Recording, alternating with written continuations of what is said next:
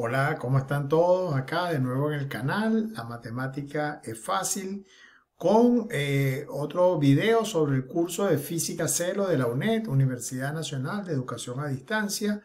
Es un video que había movido pues del orden de, los videos porque eh, corresponde a la ficha 7 y salté a la 8 porque consideré que este tema de sistemas inerciales y no inerciales, sobre todo este de sistemas no de referencia no inerciales, es un tema delicado y bueno, estuve leyendo la ficha y leyendo algún otro material.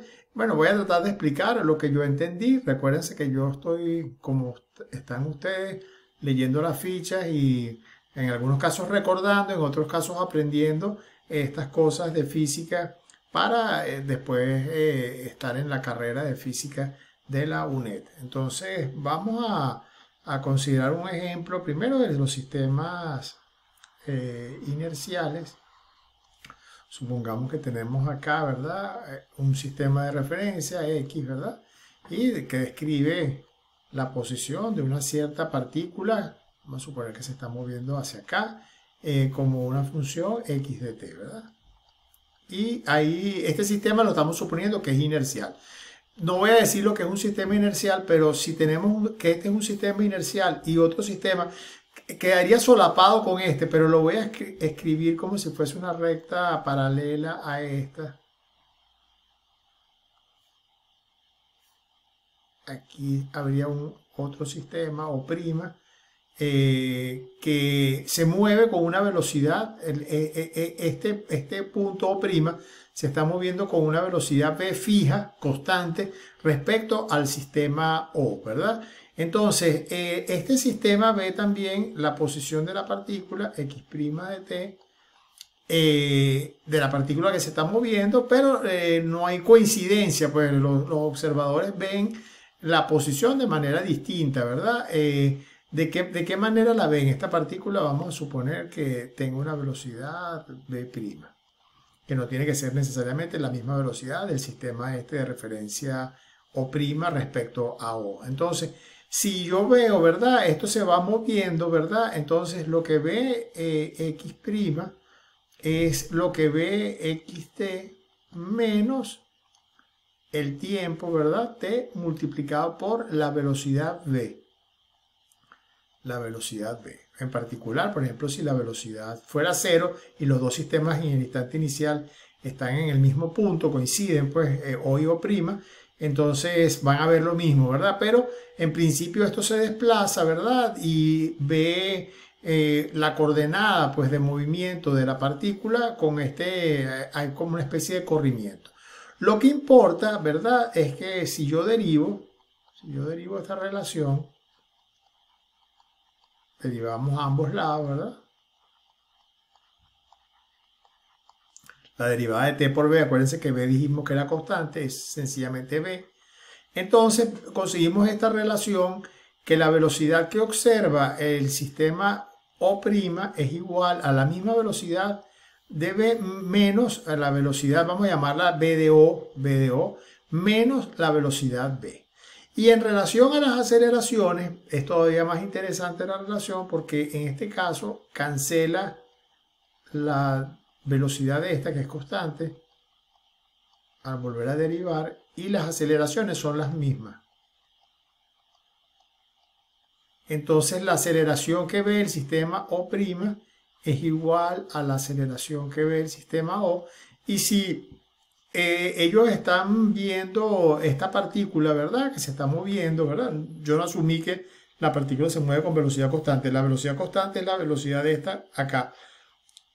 Esta partícula puede tener velocidad variable y esa velocidad variable genera esta aceleración o estas aceleraciones, porque cada observador ve una cosa. Es muy importante esa idea de que el observador eh, tiene su regla de referencia, tiene su reloj y él va observando el movimiento de la, de la, partícula y cada uno tiene ecuaciones en principio distintas, pero las aceleraciones son las mismas y eso, eso implica por la ley de Newton o la segunda ley que las fuerzas que están actuando sobre la partícula para moverla con cierta aceleración, esta es la fuerza que ve el observador O, esta es la fuerza que ve el observador O', esa fuerza es un vector, estas fuerzas coinciden, son iguales.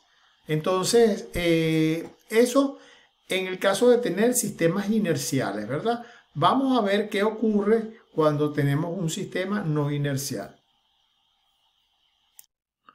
Supongamos ahora que tenemos, igual que antes, tenemos acá nuestra regla, bueno, una regla medio torcida. Aquí está O, ¿verdad? Este es el sistema inercial. El sistema es inercial, pero hay un sistema que se viene moviendo de nuevo, lo voy a dibujar como algo paralelo, pero de hecho están superpuestos los las dos líneas estas. Eh, este sería O', y este sistema se está moviendo con una cierta velocidad, pero ahora variable. Vamos a suponer para simplificar que, perdón, que la velocidad es eh, con un movimiento uniformemente acelerado. Es decir, aquí tenemos x de t y aquí tenemos una velocidad, pero que cambia también con el tiempo. La velocidad del sistema este respecto al sistema inercial que tenemos acá. Y esa velocidad la voy a suponer que es, bueno, podemos suponerle que es una cierta velocidad inicial más la aceleración por el tiempo. Entonces hay una aceleración, esta aceleración sí voy a suponer que es constante, ¿verdad? Entonces este, este O' se va moviendo y bueno, el sistema X de T, los dos están observando una partícula, ve, ve algo y el sistema X' de T va a ver X de T pero lo va a ver con cierto corrimiento, entonces lo va a ver menos B0 por T, acuérdense cómo es la ecuación del movimiento, más un medio de la aceleración por el tiempo al cuadrado. Esa, es lo que va a ver como coordenada, coordenada de, de, la posición de la partícula que están observando los dos sistemas. Bueno, vamos a hacer lo mismo que antes. Yo voy a derivar y obtengo aquí la derivada de x respecto a t, aparece el b0 como aparecía antes, aquí aparece ahora eh, eh, un medio por el 2 que viene acá de la derivada, me quedaría a t, y si derivo otra vez, que era lo que queríamos ver, o lo que queremos ver, lo que pasa con las aceleraciones, bueno, esto, está aquí, está mal esta anotación, disculpen, vamos a borrar esto acá, esta doble prima, no es ninguna doble prima, lo que estamos haciendo es derivada segunda, derivada segunda, disculpen, de e, x' respecto al tiempo. Y aquí me queda derivada segunda. Estos son aceleraciones, recuerden. Esto cancela, pero, pero, pero, aquí este menos había un paréntesis acá. Disculpen de nuevo. Me queda menos a. Entonces, la aceleración que ve el objeto o que ve el sistema X' no es la misma que ve como pasaba con los sistemas inerciales, ve esta diferencia. Entonces la aceleración que ve O' es la aceleración que ve el sistema O menos una aceleración A que estoy suponiendo que es constante, que es la que describe el movimiento de O', este centro del sistema de referencia o el origen como se dice en matemáticas, con respecto al, al, sistema que, está, que es inercial. Entonces me queda esta relación con las aceleraciones. Entonces, eh, si cada sistema va a describir por medio de fuerza el movimiento de la partícula que se está observando, no va a haber una coincidencia con las fuerzas. Uno va a ver una fuerza y el otro va a ver otra, porque las aceleraciones son distintas y entonces la fuerza que ve O'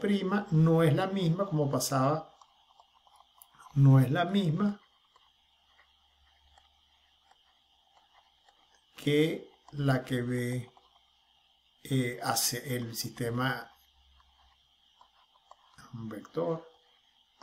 Ok, entonces bueno, eso es mi comprensión del asunto. Vamos a ver, eh, vamos a ver uno de los ejemplos que está en el, libro, en el libro no, en la ficha, eh, hay un ejemplo que se los dejo que ustedes lo lean, hay un ejercicio que es el que voy a trabajar a continuación.